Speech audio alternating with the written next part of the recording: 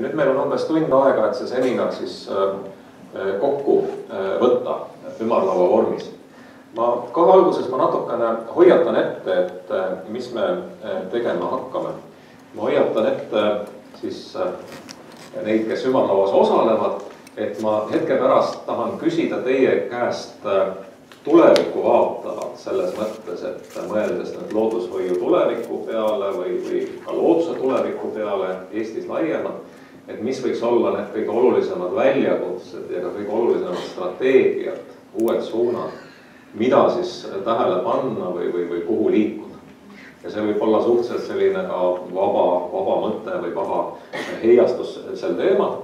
ja, ja teine asi, mida ma tahan teha siin on see, et kuna ettekanded olid väga põnevad, siis äh, on antud märku, et võib-olla küsimusteks ja diskussiooniks alati jäänud nii palju aega, kui oleks võinud. et on olnud siis selliseid mõtteid või küsimusi, mida tegelikult äh, ei saanud siiamaani küsida. et äh, ma annan siis saalile väikse hoiatuse, et ma hetke pärast siis küsin, et, et kas teil on midagi, mida te tahate esile tõsta, mida te tahate võib-olla siis arutada koos panelistidega ja, ja eriti head oleks siis sellised küsimused, mis võib-olla adresseeriksid mitte ainult ühte ettekannet, vaid, vaid laiemalt kuidagi mõnda sellist teemat, mis äh, neid erinevaid äh, siis äh, ettekandeid, erinevaid esinejaid on, on kuidagi kokku sidunud. aga kõigepealt siis väike põgus tutvustus inimeste osas, kes meil siin olemas on. Aveliina Helm Tartu Ülikooli botaanika osakonnast, Erik Leibak Eestimaa Looduse Fondist, Katre Pärn, minu kolleeg Tartu Ülikooli semiootika osakonnast, Rea Raus Stratera jätkusuutliku arenguse uurimiskeskusest ja Tiit Maran siis äh, Tallinna Loomaaiast. kuigi äh, looduskaitse ja loodushoiu ringkondades kõik niikuinii kõik, kõiki tunnevad, et, et olgu siis korra veel nagu ära äh, nimetatud. ja ma teen väikse sissejuhatuse, ma selle sissejuhatusega võib-olla ka rohkem ja tahaksin suunata tähelepanu tulevikule, selles mõttes sellele, mis on ees, et nende kahe päeva jooksul ettekandeid kuulates mul ka pigem on nagu olnud tunne, et me võib-olla rohkem oleme rääkinud tänasest päevast, tänase päeva probleemidest, sellest, milline on olnud nende probleemide ajalugu, kuidas me siia punkti oleme jõudnud, aga kindlasti on oluline vaadata ka nagu sihikindlamalt ja, ja, ja selgema pilguga selles suunas, et, et mis äh, edasi saab. ja siin kindlasti noh, tuleb äh, mainida või märkida seda, et me ilmselt äh, elame suhteliselt murrangulisel ajal selles mõttes, et, et kui vaadata siis erinevate mõttekodade, erinevate uurimiskeskuste analüüse, mis on täiesti ka reaalteaduslikud, tõsistel andmetel põhinevad analüüsid, siis ilmselt praegune aeg on, on, on selline ökoloogiliste protsesside, aineprotsesside, sotsiaalsete protsesside mõttes, kus muutused on hästi-hästi kiired. ja ma olen pannud siin äh, siis slaidi peale ühe sellise graafiku, mis ma usun, et paljudele teist on ka tuttav. see on siis rahvusvahelise geosfääri, biosfääri programmi selline ülevaate tabel kus on ära toodud siis äh, suur hulk äh, erinevaid mõõdikuid äh, maailma kui terviku kohta, mis väljendavad nii siis selliseid sotsiaalseid, majanduslikke muutusi kui ka siis loodussüsteemide ja, ja, ja siis maakera kui tervikuga aset leidvaid muutuseid. ja, ja põhimõtteliselt on siis näha see jah, et ütleme viimase viiekümne aasta jooksul mis iganes olulisemat karakteristikut vaadata, kas see on siis riikide globaalne rahvuslik koguprodukt või see on rahvastiku arvu äh, kasv või see on linnastumine või see on energiakasutus või ka siis teiselt poolt, mis puudutab selliseid bioloogilisi, äh, ökoloogilisi äh, näitajaid nagu siis süsinikdioksiidi emissiooni hulk või, või globaalse temperatuuri tõus või ka mitmed teised, et me näeme, et, et need graafikud kõik väga järsult, ühesõnaga, on muutunud, need muutused on, on väga kiired ja, ja globaalsed. ja selles mõttes, et see ei ole mingi selline pehme mm, teema, mida räägiksid humanitaarteadused või mis oleks, ütleme, selliste filosoofiate või, või kuidagi eetiliste tõekspidamiste teema, vaid need on muutused, mis on täiesti, tähendab siis reaalteaduslike andmete poolt toetatav. et, et selles mõttes püüdes nüüd oma Eesti selliseid kohalikke ja looduskaitse strateegiate, looduskaitse mõtte, looduskaitse tuleviku arusaamu ja suundumisi sellesse laiemasse pilti kuidagi sobitada, et, et siis ma arvan, et see küsimus on päris tõsine. et, et mida me edasi teeme või mis suunas me edasi liigume, et kas kõik need, ütleme, sellised harjumuspärased mõtteviisid, harjumuspärased asjaajamisviisid, et kas need tegelikult selles praeguses ja tänases maailmas enam kehtivad või on, või on adekvaatsed ja, ja siin täpsemalt vaadates võib-olla ainult mõnda nendest paljust, paljudest tendentsidest, mis, mis muutumas on. No rahvastiku arv ja, ja tarbimise kasv kindlasti on oluline, kui praegu maakera tervikuna oma siis rahvaarvu juures on kusagil seitsme poole miljardi inimese kanti, siis aastaks kaks tuhat viiskümmend hinnatakse, et äh, planeedil Maa elab pisut alla kümne miljardi inimese ja, ja see paratamatult tähendab suuremat ressursitarbimist, see tähendab äh, suuremaid äh, suuremat survet keskkonnale, see tähendab ka võib-olla suuremaid konflikte erinevate inimeste ja, ja inimrühmade vahel. Või ka globaalne mm, keskkonnamuutus äh, oma erinevates äh, ilmingutes. Siin jah, andmeid või, või äh, fakte võib ilmselt väga palju erinevaid tuua, aga mis meid siin Eestis võib-olla rohkem mõjutab kindlasti on, on kliimamuutus ja sellest tulenev siis loomastiku ja taimestiku muutumine, seda, et meil on praktiliselt iga aasta uued putukaliigid, keda varem ei ole olnud ja kes siis lõuna poolt äh, siia tulevad, et see entomoloogidel on hästi teada. Ühesõnaga, et äh, harjumuspärased liikide nimekirjad, mida me oleme siis pidanud äh, kaitse all olevateks, et need ka kindlasti muutuvad, nad ei jää samasugusteks. sellel ilmselt on oma mõju siis looduskaitsele.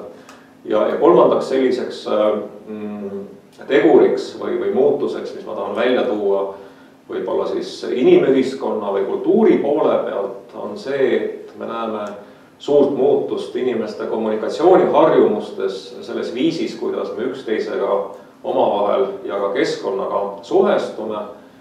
suhtlemine on aina rohkem ja rohkem vahendatud, aina rohkem me siis kasutame erinevaid elektroonilisi kommunikatsioonikanaleid ja, ja see kindlasti siis mõjutab ka keskkonnasuhet vahetu kokkupuude keskkonnaga, vahetu teadmine keskkonnast aina rohkem asendub äh, vahendatud. äh, teadmisega, siin on väga huvitavaid arenguid, kus räägitakse siis viisidest, kuidas elektrooniline suhtlus ja keskkonnataju omavahel võivad seonduda nii-öelda sellised ristmeedia võimalused ja rakendused, kus siis tõesti mingi osa elektroonilisest äh, teabest või, või infost on, on kuidagi projitseeritud füüsilisele keskkonnale. Sellel võib olla ka mingid võimalused loodushoiuks, aga igal juhul viisid, kuidas ka inimesed liigina on harjunud omavahel suhtlema ja infot vahetama, need on samuti väga kiires äh, muutumises.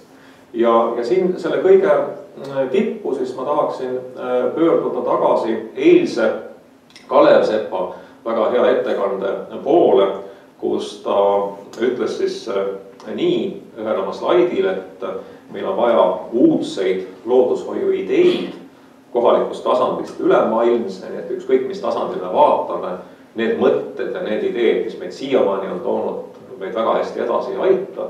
on tarvis siis tõesti äh, välja pakkuda ja leida uusi viise, kuidas selles muutuvas olukorras looduskaitses olla efektiivsed ja, ja tulemuslikud. ja, ja sellega ma praegu selle sissejuhatava sõnavõtu Äh, lõpetan ja, ja tahaks siis anda jah, äh, mitmele targale inimesele sõna, et, et siis omalt poolt öelda võib-olla mõne mõtte, et kui te nüüd vaatate loodushoiu, looduskaitse juures ettevaatavalt, ütleme näiteks kümne aasta perspektiivis, et ühelt poolt, mis on need kõige olulisemad väljakutsed, mis Eesti loodushoius on ja teiselt poolt ka, et kas siin on mingeid uusi võimalusi, mingeid uusi lähenemisi, mida me praegu veel võib-olla niimoodi kobamisi kasutame, aga mis võiksid olla meil siis abiks tulevikus. kes on julge? Avelina, palun.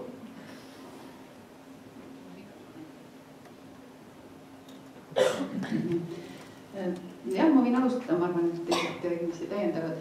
minu arust on siin, no me seisamegi üsna selgelt sellisel teelahkmel, et, et kas me nüüd oskame teha järgmise paarikümne aasta jooksul, no ma ei räägi ainult Eestist, eks ole. kas me oskame teha tarku otsuseid, mille tulemusena me jääme ja see, ütleme, see tavapärane elukeskkond ehk või siis me neid teha ei oska ja kogu see kombineeritud laviin, mis, mis praegu ukse taga ootab või juba on kohale jõudnud koos kliimamuutuste ja looduskeskkonna ja looduse hüvedega, et see vajub meile lihtsalt kaela. Ja, ja ma ei näe, et lahendus on loodushoiule uute ideede genereerimises. lahendus saab olla ainult selles, et looduskaitse integreerub majandusse tervikuna ja see kokkupuutepunkt peab no radikaalselt suurenema siin nagu noh, ma ei näe nendes nüanssides või väikestes detailides nii-öelda võimekust selle suure probleemiga tegeleda, et pigem peab olema jah, ja Lea kohe täiendab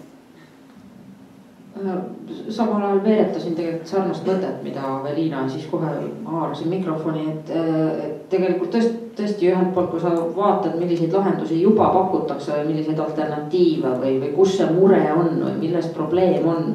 et, et sellest on päris palju räägitud, et nüüd pigem võib-olla ei ole mitte puudus nendest lahendustest või alternatiividest, mida peaks tegema, vaid kuskil on nagu see see murdepunkti või, või siis selle nagu inglise keeles öeldakse see threshold või, või et lävepaku moment, et, et kus kohas on see poliitiline siis tahe või, või selline suurem surve, mis, mis paneks meid tegema asju, mida me tegelikult ühtepidi teame, mida oleks vaja teha. et selles mõttes, et kui me sageli mõttekaaslastega koos räägime neid samu teemasid, eks ole, ja mõtleme, et, et äkki peaks veel mõned alternatiivid välja Äh, välja töötama, siis lõpeb ta ju ikka sealsamas kohas, eks ole, et, et sel hetkel, kui on vaja hakata laiemalt rakendama, siis on mingi sein püsti ees. ja, ja tõepoolest toetades seda Aveliina mõtet ka, et see sein, mis püsti ees on, et see on see majanduse ja keskkonna kokkupuutepunkt. Et kuidas, kuidas need kaks nihukest valdkonda saada ikkagi tasakaalus toimima.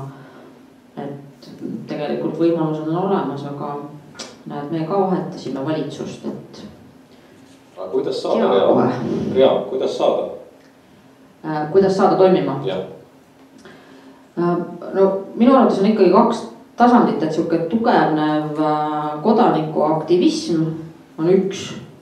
Ja, ja kindlasti no selles mõttes see lokaliseerumine, et, et inimestel ka isiklikul tasandil on sellist äh, tugevnevat motivatsiooni vaja, sest me väga sageli selliste suurte probleemidega kokku põrkudes hästi kiirelt tuleb see mõte, et ma ei suuda ju tegelikult üksi mitte midagi muuta, teada mõte meil kõik on ju. aga, aga omaenda elu ümber kujundada või seda mõtet, et aga mina ei taha selles mängus niimoodi osaleda või ma ei taha oma käsi määrida, eks ole, teatud tegevustega, et seda saab igaüks teha. ja, ja sellelt pinnalt äh, leida endas seda energiat, et ja jõudu, et no ma, ma ikka olen edasi naiivne, et kõrgeim võim on ikka rahvas. et küsimus on ainult, kuidas see rahvas rohkem kokku saada ja rääkima saada, sest noh, kui sa ükskõik mis seltskonnas nendel teemadel räägid, ikka kõik noogutavad, et, et peaks nagu leidma mingeid jätkusuutlikke lahendusi, et. et kus see koht on, kus me ühiselt noogutame, et võib-olla see, see kodanikkonna aktiviseerimine ikkagi ja noh eks riik ju kolmandat sektorit ju meil toetab ka üksjagu, aga, aga millisel kujul ja mida, eks see on ka ju arutelu koht. et ega seda valmis retsepti nii kohe välja käia on väga raske. jah, et ma võib-olla võtan eh, sinu mõtte eh, praegu aluseks mina hetkel olen natukene pessimistlik sellise kodanikualgatuse vaatepunktist. mõni teine päev võib-olla on optimismi rohkem, aga, aga võib-olla mitte ainult selle tõttu pessimistlik, et, et noh, raske on inimesi veenda, üks inimene korraga, vaid rohkem selle tõttu, et inimesed tegelikult sageli ei näe neid sõltuvussuhteid, mis asjade vahel on ostan kohaliku Alma piima, aga ei tea, et nende lehmade sööt tuuakse kusagilt teisest maailma otsast ja, ja nii edasi, et, et noh, meil on selles suhtes raske oma tarb-, tarbimisharjumustega niisugust hoomatavat muudatust teha.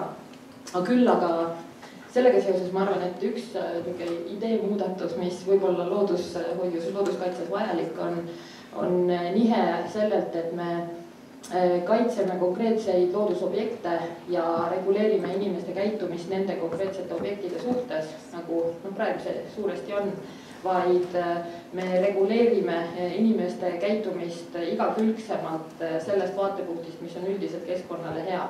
sest et, sest et need muudatused peavad olema laiapõhjalised, et see, see looduskaitse kitsendamine nii väikestele objektidele ei ole tegelikult jätkusuutlik selleks, et suuri probleeme lahendada. ja, ja just selle tõttu, et ma väga ei usu, et selline suur muutus saab äh, üksikisikust alustada, tegelikult oleks vaja neid äh, suuremaid regulatsioone äh, inimtegevusele kui sellisele kusagil keskastmel ja, ja mujal sinna juurde tuua. Nojah, hea küsimus. ma usun, et et see, kuhu, kuhu tahetakse jõuda, seda on suhteliselt lihtne paika panna, et see oli hea sinu ettekandes ja äh, Rooma klubi viimane aruanne kirjutab kõik väga ilusasti, kuidas teadus teab, mida meil on tarvis teha ja need pildid on kõik ilusti joonistatud, mudelid, kuidas me siia saaksime ideaalselt elada. aga kõik hakkab ujuma sellest kohast peale, kui hakatakse küsima, et aga, et noh, et jah, sõbrad, me teame, kuhu me tahame minna, aga kuidas me sinna jõuame, eks ju, kuidas on see asi?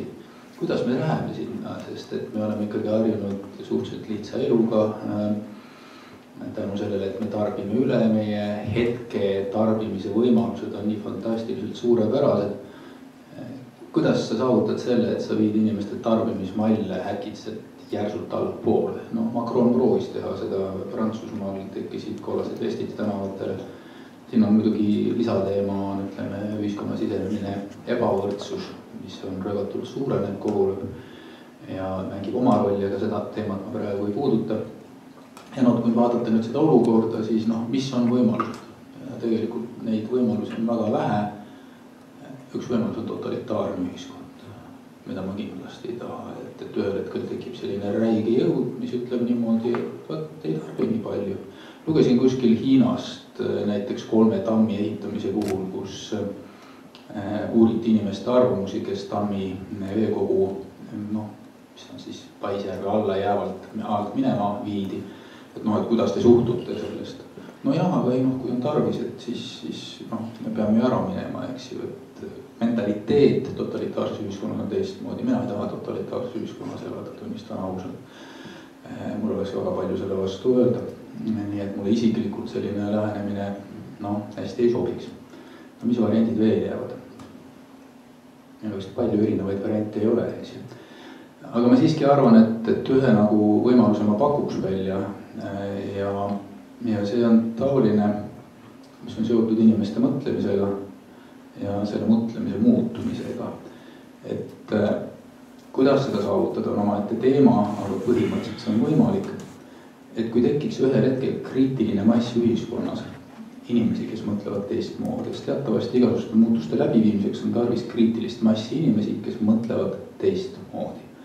ja siis hakkavad järjele tulema need, kes lihtsalt tulevad järgi ja nii ta liigub.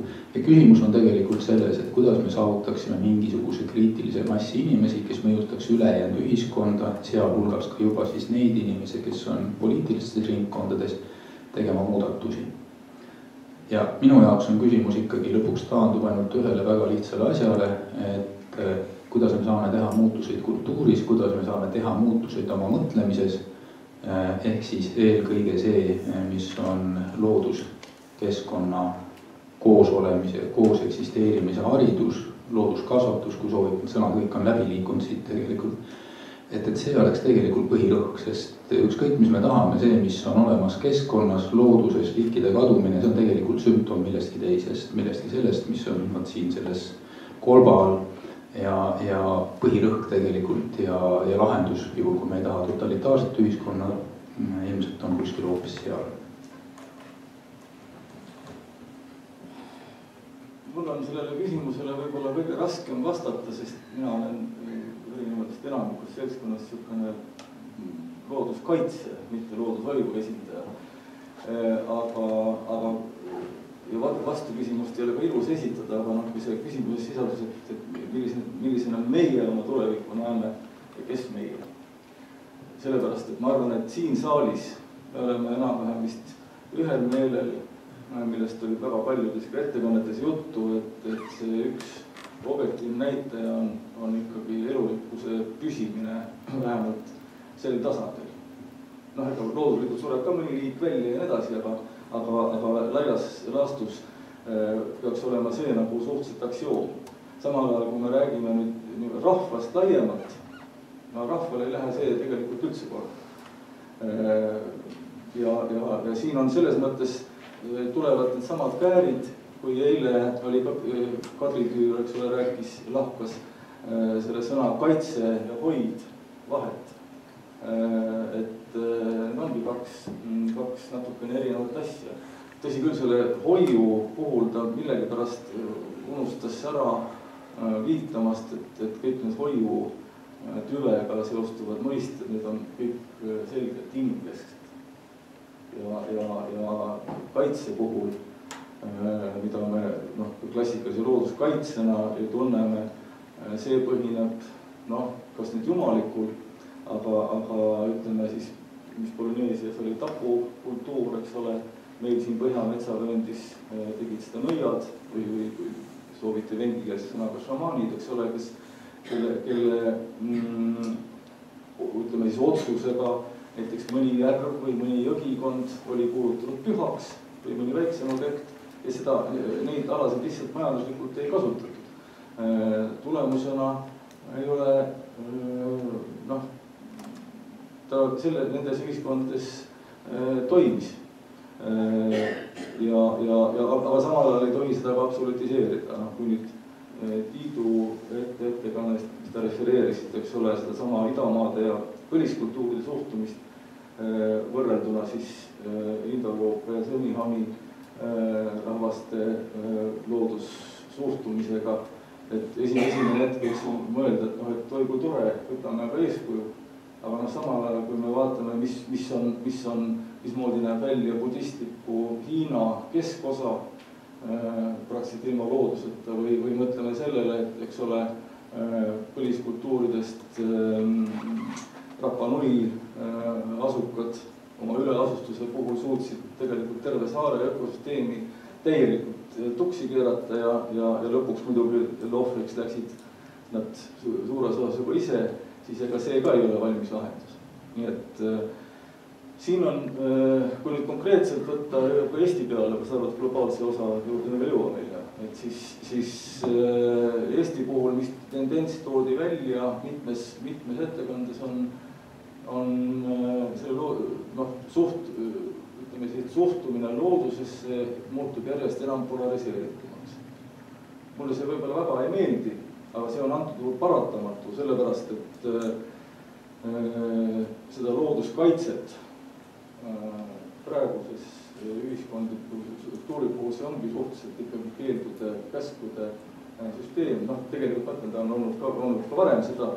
Ja, ja, ja kui praegu me näeme, eks ole, et kaitsemetsad on kadunud ja püsimetsamajandus on oluliselt vähenenud ja nii edasi, ja selle võrra tõuseb rangelt kaitstavate metsade hulk, noh, see oli ilmekas näide siin Anneli, mida näitas, noh, see ongi, ongi üks, üks eh, näide sellest polariseerumisest ja, ja, ja nüüd on küsimus, et kas sellest hulgast rangelt kaitstavatest metsadest või sobivalt majandatud pärandkooslustest või rangelt kaitstavatest soodest piisab selleks, et me võtame kas Eesti siin mõõtkavas suudame, suudame oma elurikkust säilitada.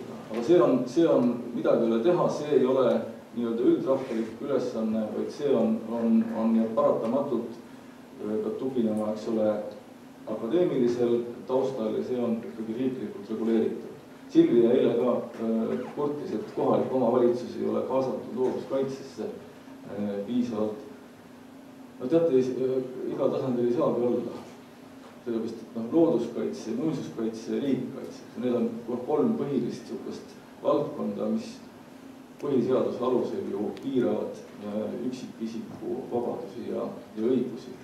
ja, ja äh, me keegi ei eelda, noh, et, et Eesti äh, riigikaitseline seisund oleks väga hea, kui see põhineks ainult kodanikualgatusele ütleme Kaitseliidul.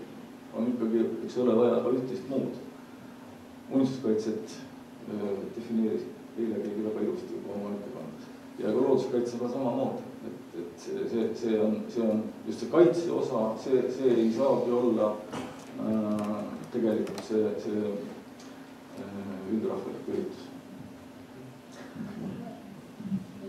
äkki napsan kinni sellest äh, radikaliseerumise probleemist, äh, tegelikult ju äh, selle radikaliseerumise küsimus ei ole selles, et kaitse muutub kuidagi rangemaks, vaid selle taustal on ikkagi see, et keskkond ise polariseerub. see lõhe inimkeskkonna ja sellise nii-öelda puut-, kadunud puutumatuta looduse vahel muutub selle võrra suuremaks, mida rohkem see nii-öelda puutumatu loodus taandub, mida haruldasemaks see muutub ja, ja seda noh, suuremaks muutub kaitse või selliseks rangemaks ja, ja sellest hakkavad pinged tõusma tegelikult ja noh, teinekord võib-olla seda ei hoomatagi, et need noh, niisugused ühiskonna tasandi konfliktid on noh, juba millegi muu tagajärg, mitte ja mitte seadusandluse või kaitsetegevuse, vaid noh, suures plaanis toimunud muutuste tagajärg, mida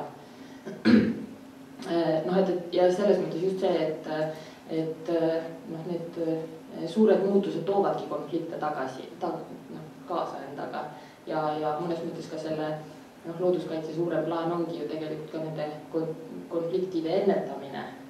sest et sel hetkel, kui nad eh, jõuavad, noh, kuidas öelda, neid eh, kaitsealused keskkonnad muutuvad nii haruldaseks, et nende kaitse peab olema nii range, et tekivad kõik need sotsiaalsed protsessid, mis järgnevad, siis sutsukene ongi juba noh, võib-olla hilja, aga võib-olla millegagi natukene magama jäädud ja see võib-olla selles suhtes just ka see teistsugune ennetav käitumine, mitte ainult nagu äh, tagantjärgi äh, äh, või niisugune konserveeriv käitumine, vaid selle suure pildi arusaamine, et väga sageli õigel ajal õige tegutsemine on ka hilisemate sotsiaalsete ja muude pingete vältimine ja ennetamine tegelikult, mis praegu on igal pool maailmas natukene lõkkele löönud. Aga tahtsin seda öelda, mis puudutab tulevikku.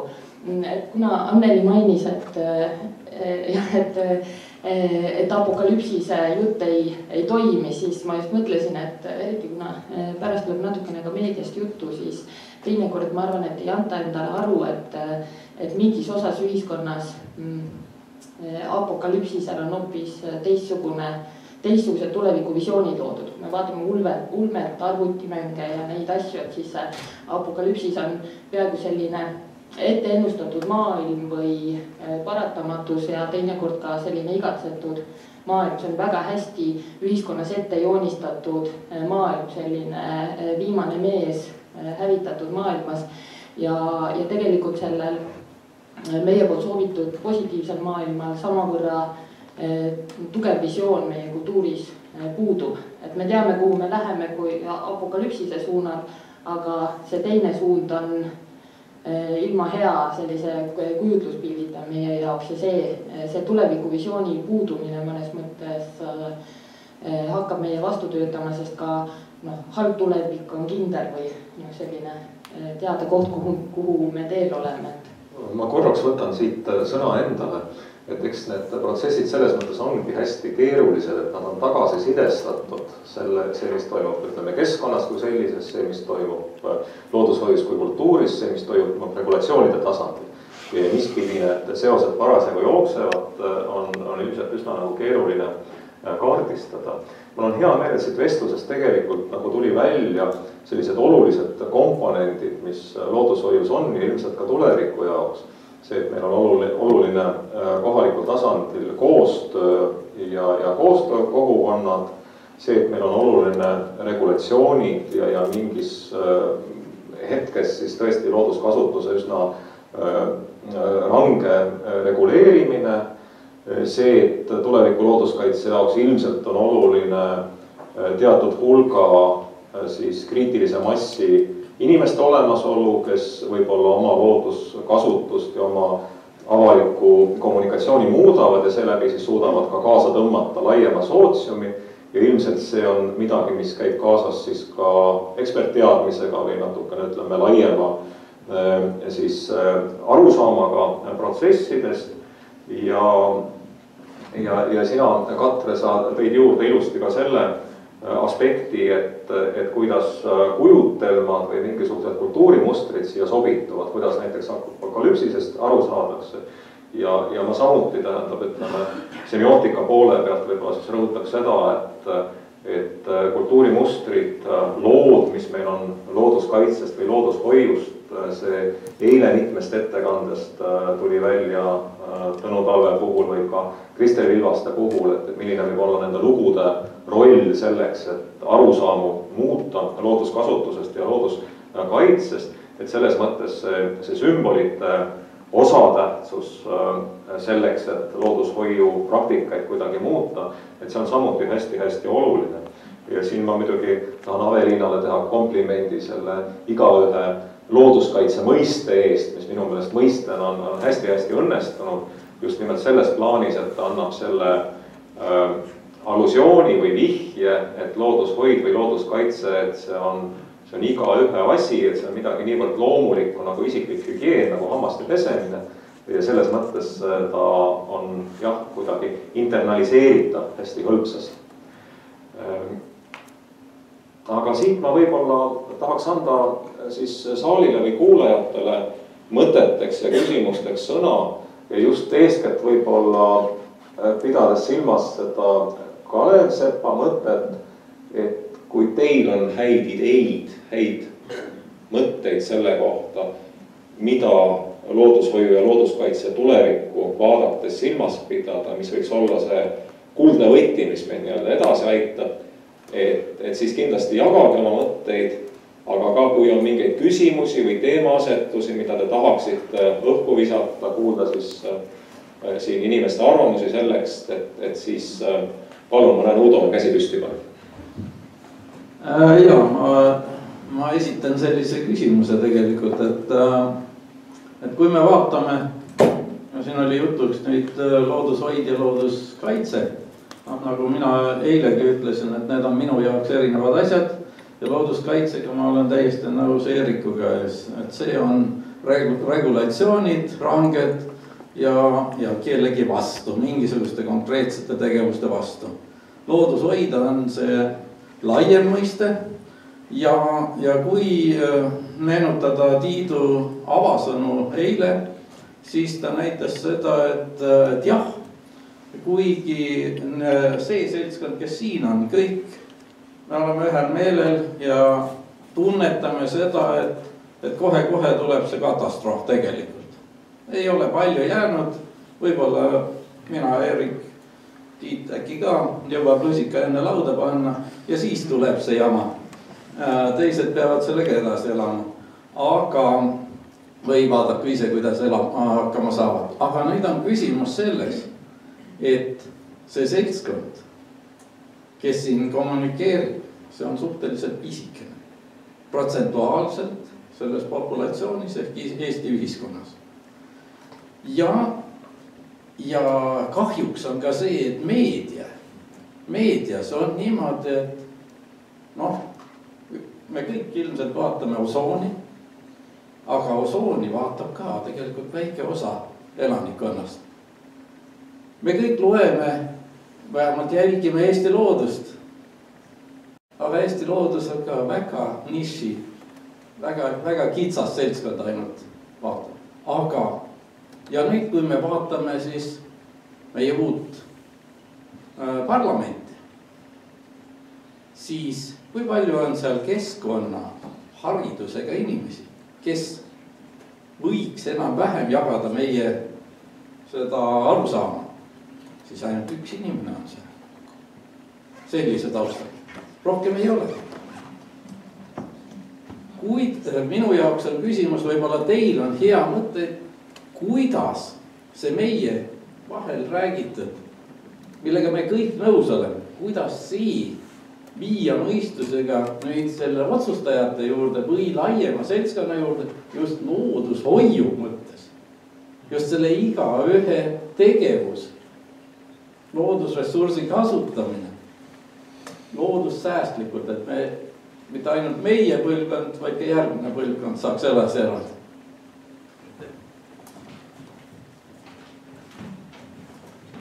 Keegi tahab vastata? see oligi vastus, jah.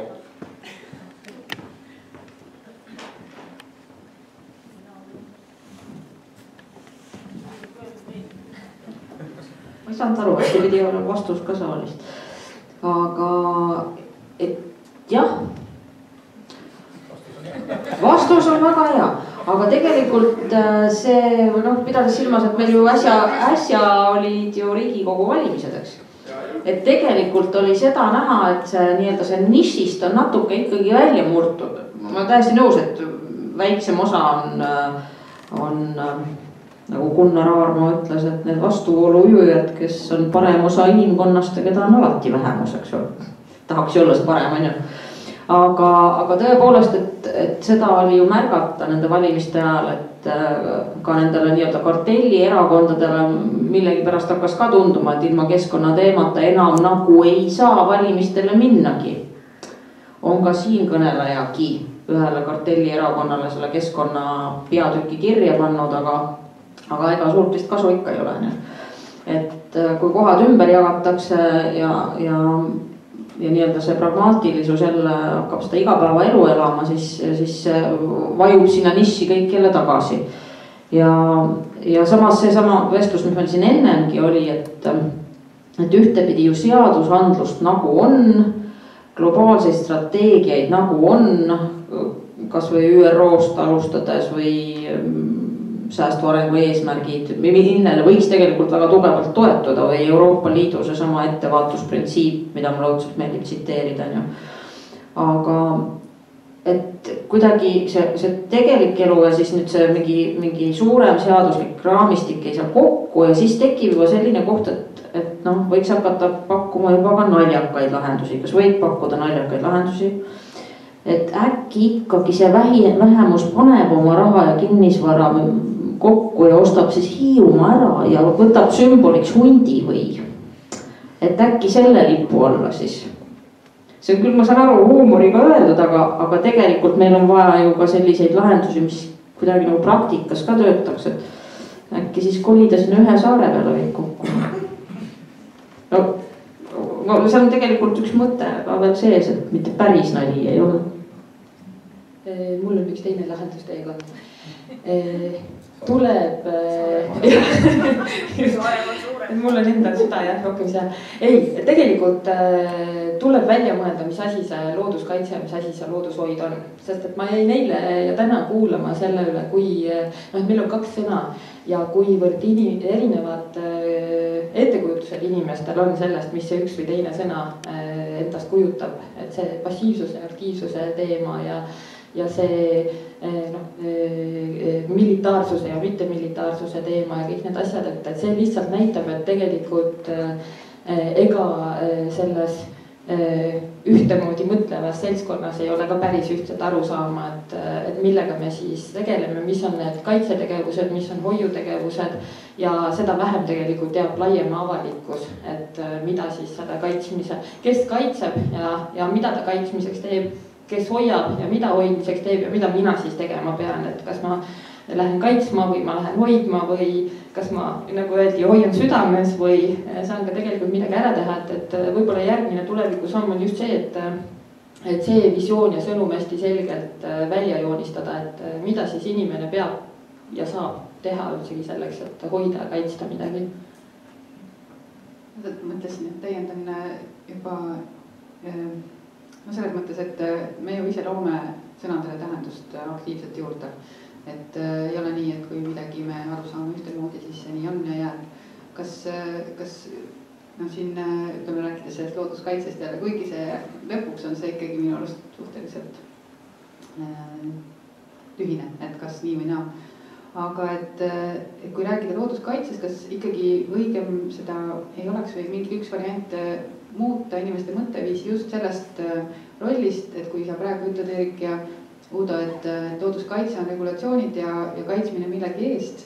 see võtab inimestelt vastutuse, see võtab neilt selle tunde, et nemad osalevad protsessis või on, on kuidagi, on kuidagi ka vastutavad, kaasvastutavad noh, keskkonna eest. aga kas see, kas see, kui sa defineerid ümber näiteks looduskaitse termini just selle läbi selle inklusiivsuse või selle kaasamise, et kas see ei aitaks midagi, ei teeks paremaks? ei, ma arvan, et üks ei välista teist ja, ja tegelikult nad toimivadki samamoodi kenasti kooskõlas, nii nagu ütleme, Kaitsevägi ja Kaitseliit. et aga, aga ühe, ühte rolli ei saa teisele üle, üle kanda nii samamoodi nagu, nagu heatahtlikud ja heausksed kodanikud ei saa minna oma arvamustega noh, Kaitseväge kuidagi parandama ja korrastama. aga, aga, aga loodushoiu osas on, on, on tegelikult väga palju teha. sest ma siin nüüd reaoptimismi ei, selles mõttes kohe jahutaks, meenutaks Tiidu eile hommikust slaidi selle kohta, kuidas tegelikult looduse teema olulisus on meil ju viimastel aastakümnetel tegelikult oluliselt kahanenud. Ja see, see ei puuduta tegelikult mitte vist Eestit ainult, eks ole, vaid globaal, globaalselt. Ja see on, see on, see on, seal on ka erinevad põhjused, eks ole, kui sa, kui sa elad ülerahvastatud äh, kolmandas maailmas ja, ja, ja siis on selge, et eks ole, toidu ja, ja rahapuudus ja, ja, ja veepuudus ja need äh, ühesõnaga eksistentsi põhiallikad kaaluvad igasuguse muu üle, jätame praegu siin selle kõrvale, miks selline üleasustus on, on tekkinud, seda poliitiliselt see, see ei olegi väga korrektne, ei tohi sellest üldse kõva häälega rääkida, aga tegelikult see on muidugi üks põhilisi ohte ka looduskaitsele ja igasugusele elurikkusele üldse, üks kahest põhiohust. ja, ja teine, teine pool on, eks ole, jällegi tähendab, ärge tundke ennast isiklikult puudutatuna, kes peaks ka siin näiteks siinsamas Tallinna kuldses rõngas elama, aga noh, kui see, need, need nii-öelda nii murukasvukohatüübi ja, ja asfaldil ja autos äh, sündinud ja kasvanud lapsed. Äh, nende jaoks, eks ole, see loodus ongi kuskil seal teises või kolmandas Eestis äh, või, või, või, või, või sageli hoopis, eks ole, kusagil välismaal, kus nad on, on oma vanematega käinud turismireisil ja, ja suurendanud noh, oma ökoloogilist jalajälge juba pisikesest peale nii et, et see, see ei ole, see ei ole ka nende jaoks nagu üldse omane probleem, et selles mõttes ma, ma, ma ei ma saan täitsa noh aru, miks see, see teema niimoodi oma, just nagu tähtsust kaotab, aga loodushoiul ja selle komponentide kaude sissetoomisel on tegelikult just nimelt oma, oma roll, et seda, seda aidata hoida ja, ja teha. tegelikult ühe eilse Nelli mm, Mäekivi jutust pani mind väga hoopis teiste mõtete peale mõtlema, mida ta tegelikult ise noh, otsene sõnum oli. Aga noh, sealt hakkas taustana hakkas mind järjest kummitama see mõte, et noh, et, et ega, ega praegu osa just selle niisuguse linnalastele tehtava loodus- ja keskkonnahariduse jaoks, et noh, see on, see on nagu, nagu inimeste niisugune ettevalmistamine või, või, või kujundama, kujundamine selleks, et noh, et, et sul oleks niisugune sulnis ja, ja petlik õnnetunne, kui tegelikult kogu elurikkus ja, ja, ja kogu Äh, tegelikult ka siis selle inimliigi eksistents äh, alla käivad. et vot sinna, sinna, minu arvates peab olema natukene ka ettevaatlikum selles, selles osas, et sihukest äh, noh see hakkab pisikestest asjadest peale, ühesõnaga, et noh, et mingi metslooma koju tarimine või selle eest õnnutamine ei ole looduskaitse ja, ja, ja, ja nii edasi, noh et, et aga, aga, aga see on juba omaette teema. ma ei mäleta, mis see küsimus oli, nii et ma lihtsalt noh, las ta kuulab siis, aga. kuidas, kuidas viia sellest väiksest seltskonnast tegelikult laia massi, see. aa, okei okay., aga ma ei vasta su küsimusele lihtsalt äh, Eeriku jutu pealt, et, et kuidas see linnainimene, kes on, on kasvanud siin asfaldi peal ja kus on, kuidas sa ütlesid ilusasti, rohukooslus või, või murukooslus, fantastiliselt hea asukohatüüp. et, et, et, et, et mida teha nende inimestega, kes, kelle jaoks välismaa hakkab kakskümmend kilomeetrit Tallinnast peale lõuna poole, ida poole ja Helsingi on sama hästi kui kodu. tegelikult sellega kaasneb Uudos slaidi pealt metspahtkondade arv, mis oli üheksakümnendatel aastatel, see oli tuhat pluss midagi, kui ma õieti mäletan. see tähendab, sellel ajal Eestis elas kuskil looduskeskkonnas tuhat pluss pere. Nendel tuhat pluss peredel sündisid lapsed. sellel ajal olid majad, majutatud kaitsealad, majutatud kaitseala inimestel olid pered, kus sündisid lapsed Äh, need lapsed elasid looduskeskkonnas, nad said selle mingisuguse taju arusaamise, mida kujutab endast looduskeskkond. ja päris suur osa ühel hetkel neist äh, kolis linna elama. aga teadmine, arusaamine, väärtushinnangud püsisid paigal.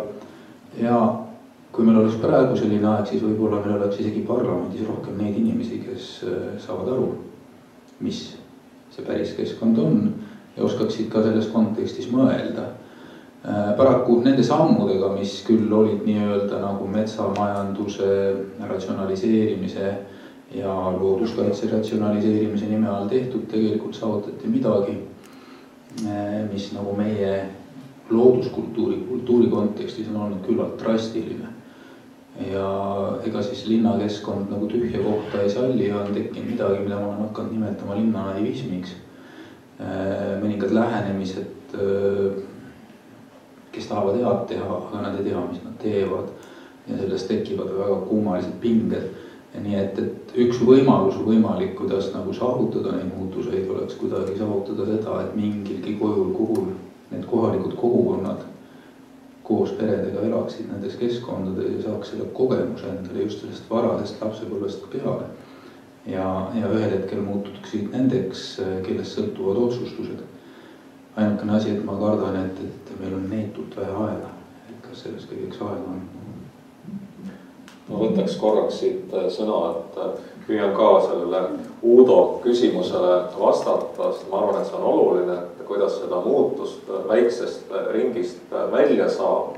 ja, ja nii, et tast nagu ühiskonna tasandil midagi tuleks ja, ja minu meelest see on suuresti nagu tegelikult kodanikuaktivismi küsimus mitte selles mõttes, et peaks minema kuskile protesteerima või revolutsiooni tegema, aga selles mõttes, et need on need ühesõnaga väiksed teod, need väiksed sõnumid, mida me igapäevases tegevuses endast välja anname kus me sekkume nendesse protsessidesse, mis keskkonda või loodust äh, puudutab.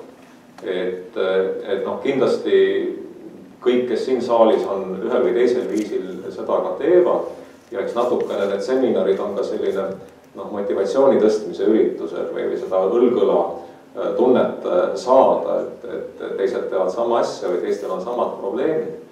aga kui aega ei ole, kui teist võimalust ei ole, et siis ainus võimalus ongi see, et nendel teemadel rääkida ja rääkida ja rääkida ja püüda teadlikkust tõsta ennast ümbritsevatel inimestel, kolleegidel äh, töökohtades sekkuda, kus võimalik ja, ja püüda omaenda olemisega, omaenda aktiivsuse ja kehaga seda muutust esile kutsuda.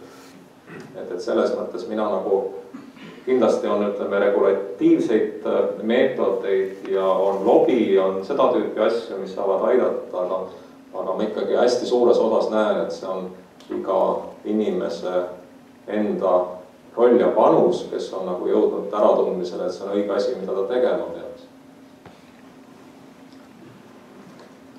aga siis ma võtan sõna korra üle.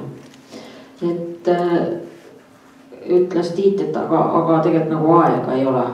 et see tunnetus ilmselt on meil paljudel, et kuidagi noh, mida rohkem sa tead infot, seda, seda rohkem see tunnetus sind tabab, et aega ei ole ja mulle meenus üks Fritjof Kapra lause, kes just kui me rääkisime siin loodushoid või looduskaitse ja siis Aveliina ütles, et noh, kuidagi nagu lõppkokkuvõttes vahet ju ei ole. selles mõttes, et äh, Kapra ütles ka, et samal ajal kui maailm meie ümber siis kokku kukub, me arutleme definitsioonide üle. et, et kus leida ka siin see tasakaal, et aga mida me siis tegelikult reaalselt teeme, et kui me, meil on kuidagi raske seda sõnumit väga laiali äh, levitada nii, et nüüd kiiresti ja paljud inimesed kohe kaasa tuleksid selle no, säästlikuma või jätkusuutlikuma maailmaga võib-olla on ühtepidi eeskuju see, seesama, mida Tiit mainis, et, et meil peaks olema mingi kriitiline mass inimesi, eks ole. Kes, kes näitab kas eeskuju või, või kellele saaks nagu järgi minna. see eeskuju peab olema inspireeriv, nakatav, reaalselt võimalik. et, et sa lihtsalt mitte enam ei räägi, vaid sa teed midagi, mis on võimalik. ja äkki ikkagi Hiiumaa aga ma mõtlen seda isegi võib-olla natuke tõsisemalt selles mõttes, et võib-olla on, on see kogukondade noh, nagu aktiivsus nõuab lõpuks seda, seda ka reaalselt.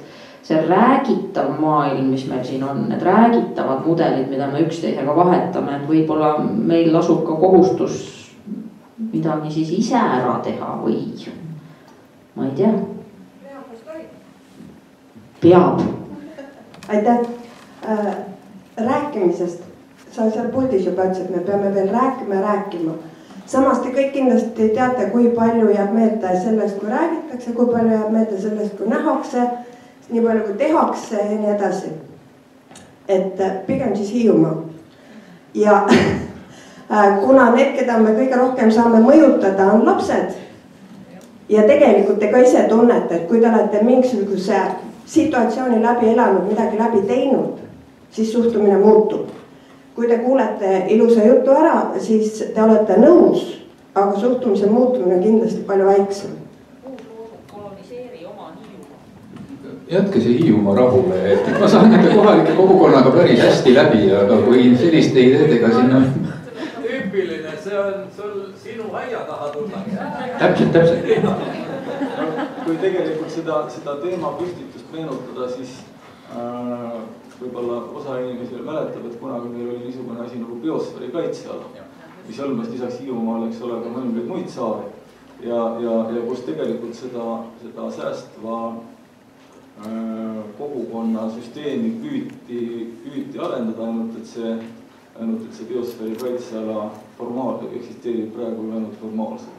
et see, selles mõttes see äh,, aga midagi sellist on, on meil ju isegi, isegi äh, Eestis olnud aga, aga kui nüüd sama kogukonna teema juurde korra tulla, siis tegelikult nagu rääkima tulevikust, aga korra võib minevikust rääkida ka, et, et, et see, see pelga niisuguse kahetsusena võib ju tegelikult nentida, et see, et üheksakümnendate alguses tuli kõik võimalikud omandi ja, ja riigireformid teha ära erakordselt kiiresti. ja, ja, ja ühe niisuguse minu arust kõige kurb, kurvema või olulisema puudusena on see, et kogukond kui selline jäi kogu sellest ametlikust hierarhiast välja. ja see oleks säästnud meid tegelikult üsna äh, paljust, sest see oleks allutanud mõne inim-, üksikisiku äh, kasumiiha, millega ta tegelikult keerab käkki kogu külale või, või, või kogu kihelkonnale. Äh, noh, neid näiteid on, on maailmast küllaga, eks ole, kus kogukond toimib no tuhande kaheksasaja kolmekümnendatel, eks ole, küüditati Cherokee'd rahvas Oklahomasse. Äh, hiljem selgus, et, et nad elavad küll niisuguse naftavälja peal ja osa Cherokee'dest on, on saanud miljonärideks, oma tulu ei jaga ja jaota nad mitte rahvale üksikisikuna laiali, vaid see läheb kogukonna kassasse. või veel, veel paremini, eks ole, Uus-Meremaa, kus nüüd seesama, kes tsiteeris ennem seda tuhande kaheksasaja neljakümnenda aasta Waitangi lepingut, selle, selle, see kehtib, see leping siiamaani ei ole neil Tartu rahulepingu probleeme seal, äh, eks ole. ja, ja on, on, äh, saavad maja, maid, maoorid tagasi, aga nad ei saa seda mitte jälle üksikvuntideks jagatuna, mida oleks võib-olla mõnele hea kohe maha müüa, vaid saavad tagasi maakogukonnad kui osa inimesi on ja see kogukond on moodustunud sealt pärit olevatest inimestest, elavad nad siis kus tahes praegu, kui ta elab, eks ole, kusagil Aucklandis või, või Sydneys või, või Tallinnas, siis, siis ta kogukonna asjadesse noh, tegelikult ei toimeta, aga maa jääb selle kogukonna kätte, seda talitab kogukond oma parema ära, äranägemise järgi ja Uus-Meremaa loodus, loodushoid ja, ja loodusseisund hoolimata sellest, mis seal saja viiekümne aasta jooksul kokku keeratud on, on tegelikult praegu ikka üsna, üsna heal järjel äh, see korraldus.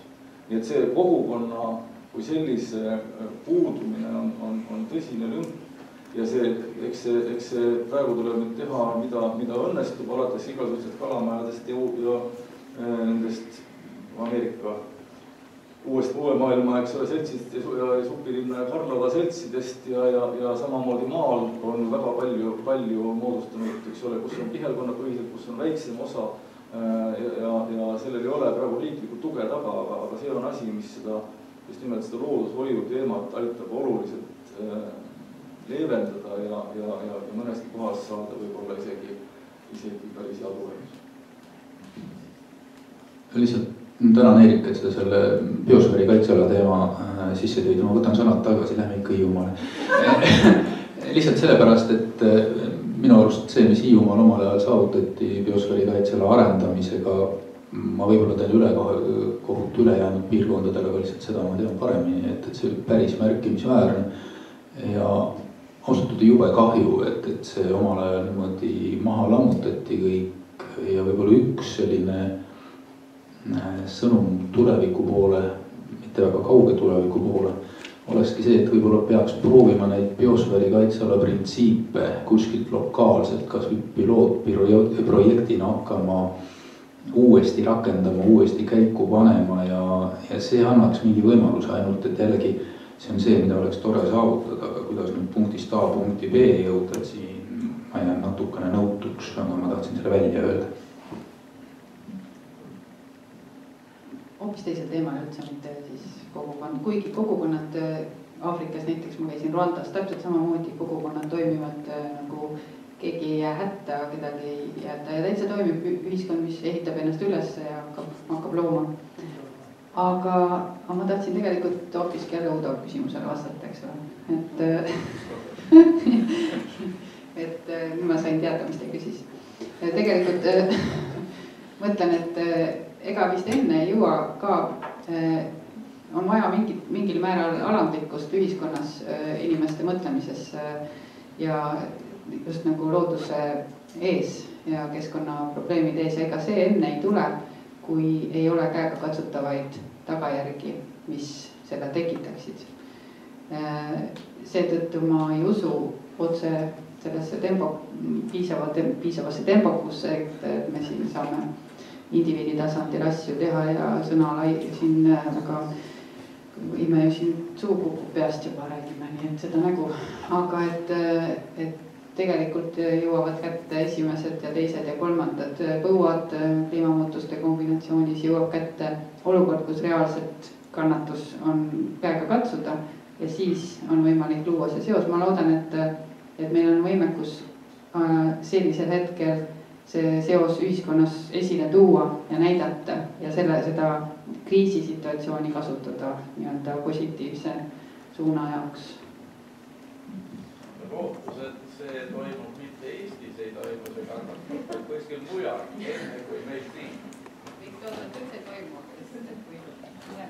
noh, see jah, et, et ega sa mugavuskanalist teistmoodi välja ei saa, kui sind on välja raputatud ja siis tekib määramatuse piirkond, kus tekib mingi uus kanal, aga milline see on, mida me ka liikuma hakata, seda on kohutavalt raske ette ennustada, aga ikkagi tahaks kangesti loota, et kuidagi mõistuslikult saab asju teha ennem seda et kui ma mõtlen nagu olen noh, fantaseerunud nagu riikliku poliitika tasemel, et, et mis võiks olla üks mõistlik tee, siis mõistlik tee võiks olla selline lokaalsete kokku noh, toimetulekupiirkondade tekkimise soodustamine, kus oleks võimalikult vähe, nüüd tuleb see, mida siin Rea rääkis, natukene sõltuvust väliskorporatsioonidest, täielikult see on välistatud, noh näiteks millal see oli eelmine eelmine aasta vist talvel ühel hetkel, kui Hiiumaal praam ei liikunud enam korralikult ja ime-ime ühel hetkel poest läks toit otsa saama, sest vanasti oleks sellist asja juhtunud, sest saar suutis enam-vähem oma asjadega ise hakkama saada, mitte täielikult. aga et noh, et vaat selline lokaalne kogukonna toimetulemine, et selle toetamine võiks olla üks riiklik poliitika, aga muidugi seda on väga raske saavutada, sest et mingi asi läheb palju kallimaks ja siis on kuskil kollased vestid. Aitäh kõigile. mulle tundub, et me võiksime jätkata siin pikalt ja pikalt ja iseenesest on hästi-hästi positiivne, kui mõtteid jätkub, et dialoog võiks edasi kesta. et äh, ma loodan, et te saate neid mõtteid edasi mõelda ja et sellest seminarist äh, tõukub mis iganes huvitavaid asju, artikleid, mõttevahetusi, mingeid tegusid. Veel midagi, mida praegu ei oska ehk ettegi näha. ja loodetavasti me aasta pärast siin jälle kohtume. aitäh kõikidele osavõtjatele, aitäh kõikidele ettekandjatele ja kõike head ja oot, oot, oot, nii lihtsalt sai sulle käia, et aitäh, Timo. Need tänapäevased püksid on keerulised.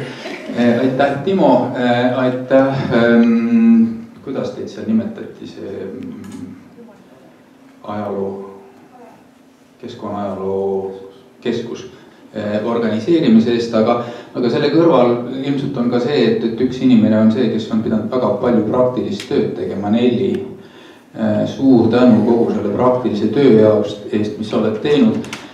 noh, tore on lobiseda, keegi peab tööd ka tegema, et sulle väikene meene selle eest, oi. elusloodus tuli siia jah. nii, jah,